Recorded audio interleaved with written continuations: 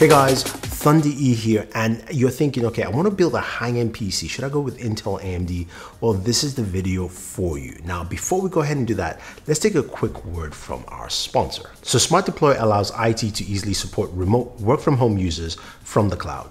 Deploy Windows, apps, patches, and BIOS updates to remote PCs from your Box, Dropbox, Google Drive, or OneDrive cloud storage accounts to keep end users productive. Check out my exclusive free offer worth over $800 at smartdeploy slash boored.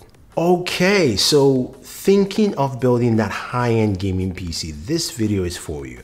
I'm going to be comparing the Intel 10900K versus the AMD 3900 XT. Now, I could have gone with the 3950X, but that's such a much higher processor, 16 cores.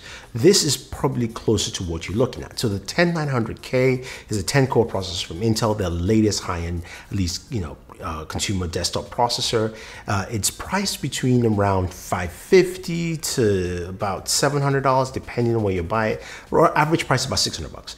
While the AMD um, 3900 XT is about $478 for 12 cores. So that's what you have here. Now, uh, big shout out to all the people who sent out parts for this build. I'm talking about ASUS, I'm talking about Seagate, Samsung for both the AMD and Intel builds. Definitely Intel as well for sending the, the CPU as well, and NZXT for the case. But when you look at the specs for both devices, I have both of the specs right here for you on screen. They are literally the same other than the CPUs being different. We're both running um, uh, 2080 Ti's uh, for both of them because we couldn't get a 3080. And besides, with all the 3080 snafus, I think you're okay with your 2080 Ti for right now, and you probably can't even buy it. Uh, and we have the same amount of RAM, uh, 32 gigabytes uh, of RAM uh, from, from Kingston and from Crucial. And we have storage as well, which is about the same amount, you know, two terabytes.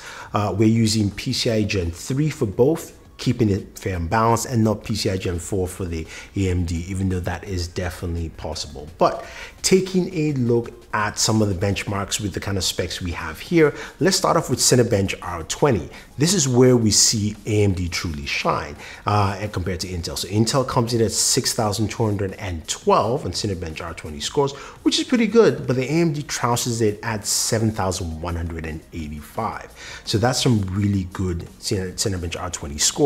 But again, benchmarks as you would expect. Uh, we also have another one from TimeSpy where Intel um, the Intel machine comes in at 13,530, while AMD is a little less at 13,421.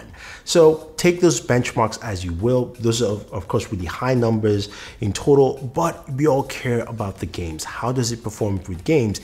And to do our gaming, we're using a 4K monitor from LG. And you're thinking, wait, wait, Thunder E, it's got a 2080 Ti. Yes, I know.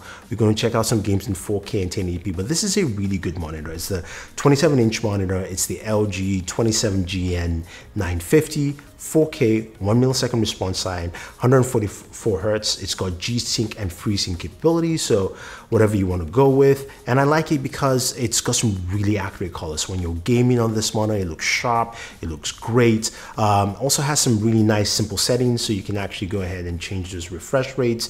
As you can clearly see on screen, FPS supports 144 hertz and you can also tilt it and put in, in you know, portrait mode if you want to. Uh, but I digress from that. It's all about the game. So let's check out a few games first.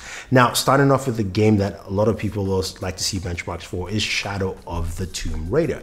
And when we look at the benchmarks of Shadow of the Tomb Raider at 1080p uh, on the highest settings for the Intel AMD, Intel comes in at an average of 125 frames per second using the benchmark test, while AMD is 120 frames per second. So pretty similar, just five frames off, but I'll say they're pretty similar there. Now, when we move into 4K, we move it to high settings, uh, the Intel uh, machine comes in at 84 frames per second, while the AMD machine is at 94. So a much bigger gap with 4K gaming using this, of course, processor. So that's actually pretty interesting. Now, going over to Doom Eternal. Doom Eternal is a game that really runs well on a lot of machines, but I wanted to see how it handles here 4K at Nightmare, Ultra, Night, uh, Ultra Nightmare settings and we see about roughly the same frame rate range for both machines. Uh, 4K uh, for Intel AMD, roughly between 130 to 175 frames per second for both the Intel and AMD machines. So that was nice to see that both of them handled this game pretty well. Now, moving over to the game that I've played the most throughout this, of course, uh, you know, quarantine period, I'm talking about Call of Duty Warzone. Now, Warzone is one that, of course, it's beta, so a lot of the settings are off here and there, but I wanted to check it out. And 1080p gaming on Warzone is where we saw the Intel machine shine between 130 to 150 frames per second, compared to AMD, which is about 110 to about 125, 130 frames per second.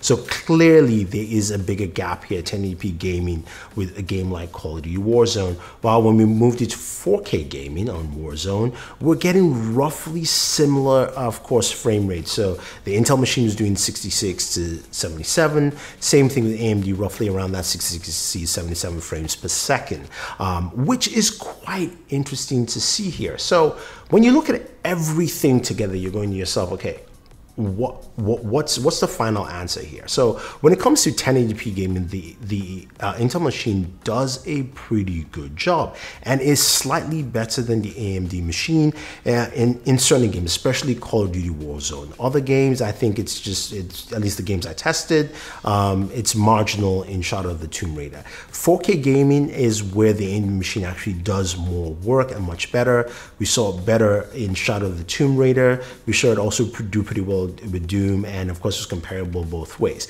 Now I think it just boils down to what you want and preference, and also thinking about the price point for these machines. So with the AMD um, 3900 XT, it's priced at $479 compared to roughly around $600 for the Intel 10900K, where you're getting the same performance, honestly, for both of them, and even slightly better 4K performance with the AMD machine, depending on the game you're playing. Now, this will also change once AMD makes the announcement on October 8th for the new processor, which means this processor will actually drop down in price. So it might be a bargain to for you to even wait before you build your machine uh, and maybe go with the AMD. But if you want to get that consistent 1080p, I think the Intel machine really does a good job there. But there you have it, guys. That is what you get between at least the current high-end battle between Intel and AMD. I will definitely do a comparison once the new AMD chipset comes out. I know you guys are saying, look, the new you know uh, generation chips are coming, the 5900X, which is rumored to be coming out. Uh, so I'll definitely do a comparison to uh, to this because we already have that here and we'll see what we actually get on the table. But if you have any questions or any comments, guys, let me know. Don't forget to like, share, subscribe, and always enjoy your entertainment.